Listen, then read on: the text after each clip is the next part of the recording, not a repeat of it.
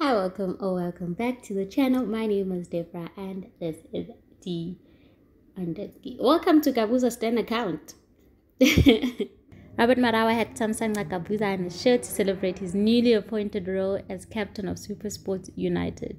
When asked about his relationship with referee Victor Gomez, this is what Gabuza had to say. Hey, Gomez! Long time, hey, Bruno, see! It's difficult. It's, it's another referee. It's, it's on another, another level. Nah.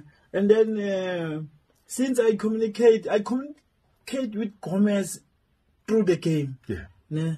And then maybe when something happened, and then he's gonna shout me, "Hey, be strong! You can't fall down so easily. A big man like this." I say, "Hey, it's a foul. It's a foul, Gomez. Foul. It's a foul. Don't tell me I'm big or I'm small. Foul. It's a foul." And then we fight and fight until we get uh like ngesingisi sakhona ukuthi sizwane and then uh, like qala ukuzwana kanjalo no Gomez like when is wrong is wrong when is right is right Sure.